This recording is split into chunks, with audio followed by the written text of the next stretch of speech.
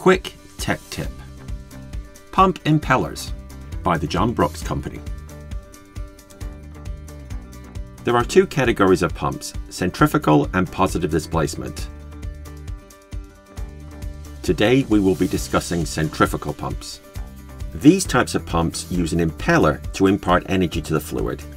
Radial vane impellers energize the incoming flow and direct it radially outward.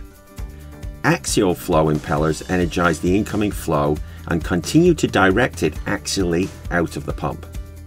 Finally, there are the mixed flow impellers that combine radial and axial discharge flow direction. Radial flow pumps tend to deliver high pressure, and axial flow pumps tend to deliver high flows. By far the most common are the mixed flow or Francis vane style. All these impellers can be described by a value called specific speed. This number is not an actual speed, but a dimensionless quantity. The different impeller styles can be graphically organized according to their specific speed values. We'll have more to come on this topic.